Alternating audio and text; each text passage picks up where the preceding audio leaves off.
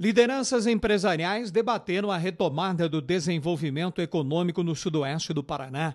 O encontro foi na sede da Associação Empresarial de Pato Branco nesta terça-feira, com o presidente da Federação das Associações Comerciais do Paraná, Fernando Moraes. A retomada econômica dos diversos setores da economia foi um dos temas da pauta, juntamente com a forma como o Estado vem enfrentando a pandemia. O associativismo é de extrema importância.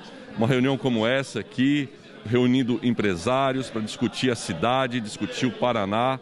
Isso é o associativismo. A gente está aqui voluntariamente para discutir as questões da cidade, para que melhore a economia, para que os negócios se fortaleçam.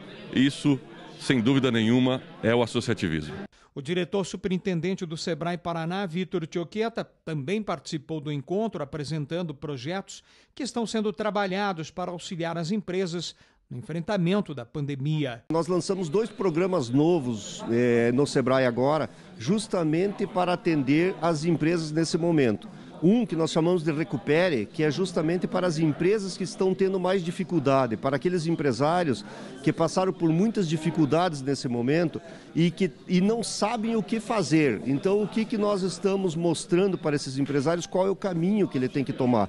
Para onde que ele deve ir? E o segundo programa, que é o Fature Mais, inclusive uma parceria aqui com a Associação Comercial, é um programa que vem para aquelas empresas que cresceram durante a pandemia, que são muitas também.